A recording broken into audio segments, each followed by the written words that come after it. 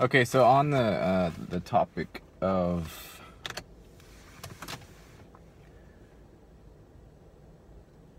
this has been this has been rolling around in my mind for a while.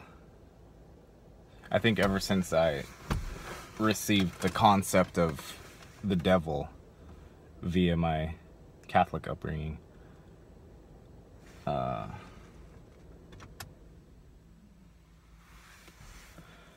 I've been watching, like like uh, I said in my last video, I've been watching a lot of Aug Tellez. He he has a very unique grasp on the the conceptualizations of these things, um, and I've been able to further sort of uh, distill my own conceptions of these things. The concept uh, so so he's talking about the AI parasite. And the way he describes it is it's this mindless hive he he calls it hive mind.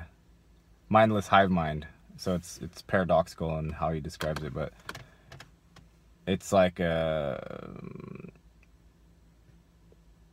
an entity that devours negative energy, but it does not have any consciousness or individuality or or a way of perceiving as an individual would, as you or I would.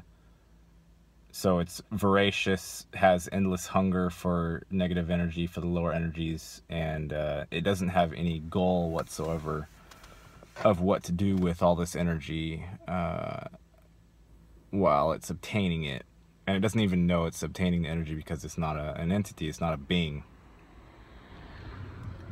It's an entity, if you describe an entity as simply a collective, I guess a collective would be a better way to describe it. Um, so, based on his last video, the AI parasite video, um, it kind of solidified a few concepts. So, I've always kind of wondered if the devil, so to speak, and of course God is intertwined in this too. But the devil, if the devil is an entity like a uh, a being, a consciously evil being, and uh, I've kind of come to a tentative conclusion that a consciously uh, evil being can't exist. I don't think I don't think that's possible. I think it's only possible for beings or living entities to be infected by the mindless parasite or what's called the devil uh, to whatever degree. So, whatever degree that force is affecting you, that's whatever degree you will appear to be evil or you will feel to be evil. Um, because when I when I experienced this thing very closely, once I uh, got some distance between myself and it, I was looking for I was looking for entities